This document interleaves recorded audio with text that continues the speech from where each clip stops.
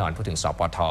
ตามมาคือกรรมการร่างรัฐธรรมนูญเหมือนกับมาแต่งตั้งมาพร้อม ๆ กันใกล้ๆกันเนี่ยนะครับ ตอนนี้ผ่านไปรูปสัปดาห์แล้วหลังจากเรามีกรรมการร่างรัฐธรรมนูญนะครับหลายคนก็อยากเห็นหน้าตาและแนวทางในการที่จะกำหนดมาว่ารัฐธรรมนูญนั้นจะเป็นแนวทางไหนนะครับ ซึ่งประธานกรรมการร่างรัฐธรรมนูญระบุครับว่ารัฐธรรมนูญฉบับใหม่นั้น มีเนื้อหากระชับ ครอบคลุมครับแล้วก็บรรจุแนวทางการสร้างความปรองดองด้านที่ประชุมคณะกรรมการร่างรัฐธรรมนูญนั้นก็ได้ข้อสรุปเบื้องต้นนะครับว่า จะเขียนรัฐธรรมนูญนั้นใหม่ทั้งหมดนะครับโดยให้มีอัตลักษณ์เป็นการเฉพาะนะครับแต่ยังคงความเป็นสากลและประเพณีของความเป็นไทย ที่ประชุมกรรมการร่างรัฐธรรมนูญหรือว่ากรทวันนี้ครับมีการหารือถึงแนวทางการร่างรัฐธรรมนูญ ได้ข้อสรุปแนวทางดังกล่าว พร้อมจะยึดกรอบตามมาตรา 35 ในรัฐธรรมนูญฉบับชั่วคราวปี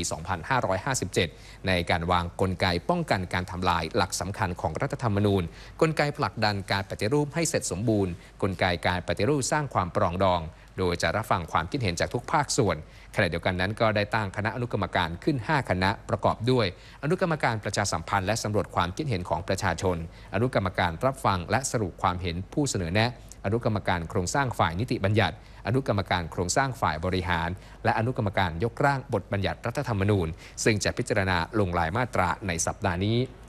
นายมิชัยรุชุพันธ์ประธานกรทเปิดเผยถึงหลักใหญ่ของรัฐธรรมนูญ จะมีเนื้อหากระทัดรัดและเขียนรายละเอียดในกฎหมายประกอบรัฐธรรมนูญท่านี้จะศึกษารัฐธรรมนูญในอดีตประกอบการพิจารณาก่อนจะลงเป็นรายมาตรา ถ้าเราเขียนสั้นเนี่ยก็แปลว่า เราจะเขียนวางแต่หลัก ไว้ว่า เช่นสมมุติบอกว่าเเสรีภาพในการพูดย่อมได้รับการคุ้มครอง แล้วก็ ส่วนอะไรที่จะไปไปเขียนในรายละเอียดก็เป็นเรื่องที่ไปปกติธรรมดาปะรัฐบาลเข้ามาเขาก็จะออกยังไงก็ออก เพียงแต่ว่าเราอาจจะต้องกำหนดไว้ว่า ถ้าจะจำกัดจะจำกัดได้มากน้อยแค่ไหนจะซึ่งซึ่งสิ่งเหล่านี้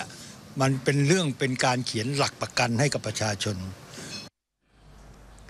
ส่วนในเรื่องของการปรองดองนั้นได้ตั้งคณะกรรมการขึ้นศึกษาปัญหา และวิธีการสร้างความปรองดองแล้ว พร้อมระบุจากการทำงานที่ผ่านมาสมาชิกทุกคนนั้น ให้ความร่วมมือเป็นอย่างดี